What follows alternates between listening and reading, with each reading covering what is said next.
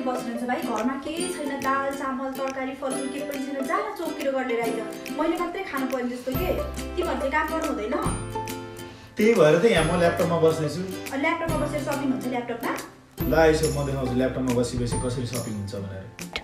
यहाँ भर्खरै लन्च भएको अनलाइन सपिङ गर्ने प्लेटफर्म ग्यापु भन्ने अनलाइन सपिङबाट यहाँ हेर्छ सबै सामानहरू किन्न मिल्छ?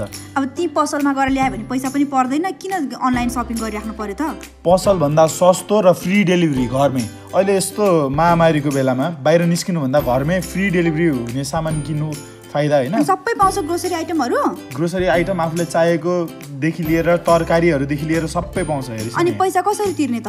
पैसा तिर्न पनि धेरै सजिलो छ। क्यास अन डेलिभरी तिरे पनि भयो ई सेवाबाट तिरे पनि भयो फोन फोन पेबाट तिरे पनि भयो। त्यो केही छैन भने आफ्नो एटिएम कार्डबाट पे गर्न पनि मिल्छ। उनीहरूले आफै एटिएम मसिन लिएर आउँछ।